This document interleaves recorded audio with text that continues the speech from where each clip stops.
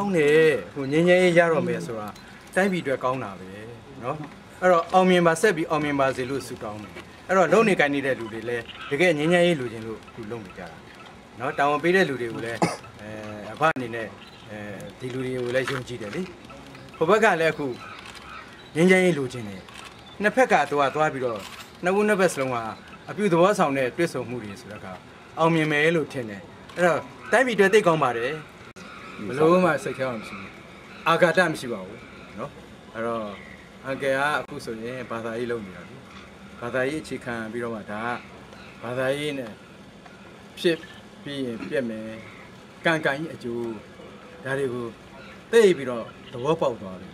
ဖျားတရားအလုပ်လုပ်နေရတဲ့အတွက်အခုလိုနေရတာကိုပဲအာတစ်ဖက်ကကံကောင်းလေလို့ပဲယူဆမိတယ်လေအဲ့တော့အခုကတော့ အေးအေးဆေးဆေးနဲ့အေးအေးချမ်းချမ်းနဲ့မိသားစုဘဝပြန်ပြီးနေရမှာဆိုတော့ကိုပြီးစိတ်ချမ်းသာပါ